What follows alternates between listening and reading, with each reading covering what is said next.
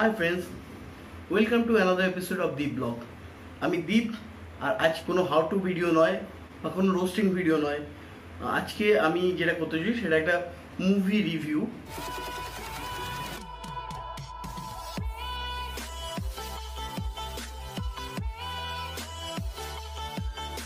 Basically কাজে চাপে movie দেখা হয় না, কিন্তু এই লকডাউনে আমার ছেলে একটা মুভি আমাকে সাজেস্ট করেছিল, যেটা আমি রিসেন্টলি দেখেছি আর কি।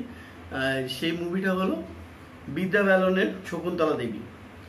এখন Shakuntala Devi the human computer এনার সম্পর্কে আমি বিশেষ জানতাম না। হয়তো ছোটবেলায় জিকে মুখস্থ সময় একবার কখনো পড়েছিলাম যে হিউম্যান কম্পিউটার শকুন্তলা দেবী। কিন্তু তারপরে আমি জানতাম না, এই মুভি দেখার আগে পর্যন্ত শকুন্তলা দেবী এক্স্যাক্টলি কে ছিলেন? তো সেটাই শকুন্তলা দেবী সম্পর্কে মুভি ওনার বায়োগ্রাফি যেমন আর পাঁচটা বায়োগ্রাফি হয়, তো তেমনই একটা মুভি আর কি।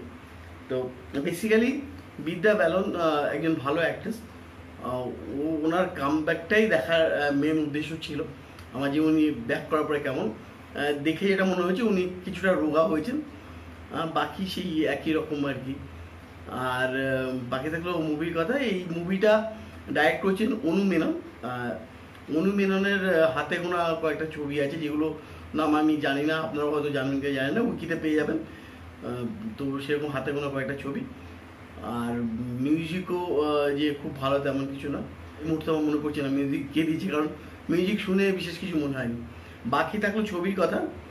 ছবিতে যেটা হয় প্রত্যেকটা অটোবায়োগ্রাফি যদি আপনারা দেখেন তাহলে তাতে দেখবেন যে একটা কষ্ট করে কেউ কিছু অ্যাচিভ করছে। তারপরে সে একটা সাফল্যের শিখরে পৌঁছাচ্ছে সেখানে কিছু প্রবলেম ক্রিয়েট হচ্ছে সেখান থেকে আবার আহ, শেষে সব কিছু ঠিকঠাক হয়ে যাচ্ছে। তেমন একটা ব্যাপার। শকুন্তলা দেবীর যে বায়োগ্রাফিটা নেওয়া হয়েছে অনুমেনন নিয়ে কাজ করেছেন কি সেটা বেসিক্যালি শকুন্তলা দেবীর যিনি মেয়ে তার নজরে তার মাকে দেখা।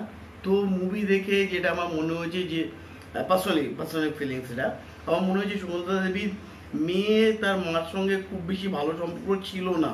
কারণ বেশ কিছু পয়েন্ট দেখানো হয়েছে যেখানে মনে হয়েছে যে একজন মানুষ কি করে এটা করতে পারে। যেমন একটা জায়গায় দেখানো আছে যে, শকুন্তলা দেবী একটা প্রেস কনফারেন্সে বলছি যে তার স্বামী হোমোসেক্সুয়াল যার সঙ্গে তার মেয়ে উঠে বেরিয়ে চলে আসবে আর কি।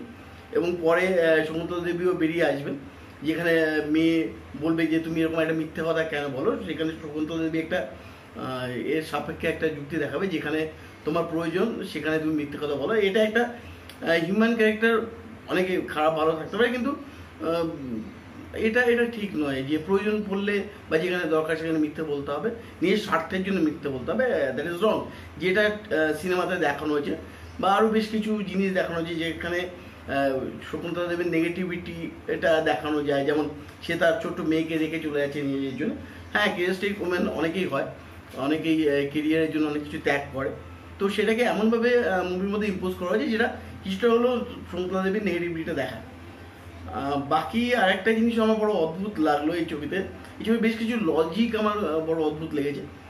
সেটা হলো যে প্রথম থেকেই দেখা যায় যে শকুন্তলা দেবী কে তার বাবা না স্কুলে পাঠিয়ে তাকে দিয়ে শো করায়, তাকে দিয়ে টাকা পয়সা নেয়।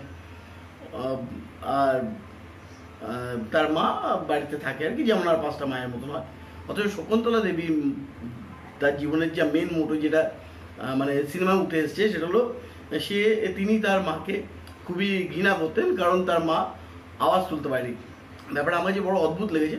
তার কারণ হলো, যে বাবা তাকে স্কুলে পাঠালো না, যে বাবা তাকে দিয়ে শো করল, যা, যে বাবা তাকে দিয়ে করল, তো সিম্পলি বাবার প্রতি একটা খারাপ মনোভাব হওয়া উচিত। এক্ষেত্রে আমি দেখলাম না, বুঝলাম না যে কি করে শকুন্তলা দেবী তার মার প্রতি অত রেগে গেছিল বা কি হতে পারে পিছনে অন্য কোনো কারণ থাকে। কিন্তু যেটা উঠে এসছে, আমার কাছে কোনো লজিক মনে হয়নি। বাকি থাকলেও বিদ্যাবালনের অভিনয় বিদ্যাবালনের অভিনয় আমি বিদ্যাবালনের অভিনয়, আমি ফ্যান ছিলাম বেসিক্যালি খানি মুভিটা থেকে বা পরিণীতা থেকেও। কি, কিন্তু বিদ্যাবালনের যে ডার্টি পিকচারের যে ব্যাপারটা, যে আমি সব, আমি একজন মহিলা হয়েও পুরুষের আগে, সেই ব্যাপারটা কিন্তু এই মুভিতেও বিদ্যাবালন রাখার চেষ্টা করেছে। আর কি তেমনই বেশ খানিকটা। বাকি থাকলে বেশ খানিকটা রোগা হয়েছে। বাকি আহামরি কিছু নেই।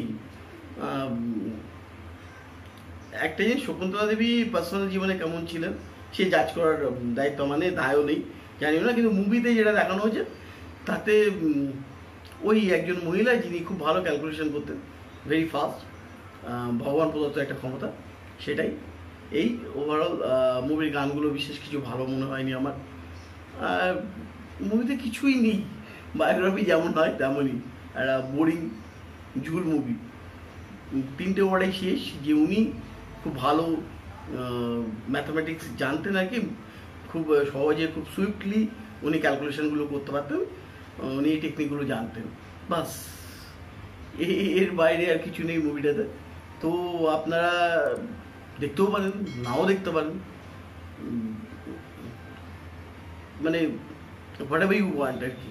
আমি মানে সাধারণ দর্শক, আমি তো অত ভালো ফিল্ম ক্রিটিক নই, আমি বুঝিও না। আমি এটা বুঝি যে একটা মুভি দেখব, দেখে আমার মনে খুশি হলে তার এজ যদি থেকে যায়, আমার মুভিটার কথা যদি মনে পড়ে হল থেকে বেরিয়ে এসে বা দেখার পরে কিছুক্ষণ যদি তার এজ থাকে, তাহলে সেই মুভিটা ডেফিনেটলি ভালো। আর আমার মুভি দেখার সময় যদি বোর লাগে, আমার যদি মনে হয় যে কি দেখাচ্ছে এগুলো এগুলো মিনিংলেস তখন সেই মুভিটাকে আমি খারাপ বলব। তো সেই একদম সাধারণ লোকের বিচার অনুযায়ী আমি এই মুভিটাকে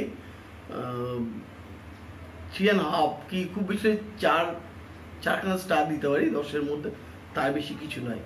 আজ এটুকুই টাটা, সবাই ভালো থাকবেন।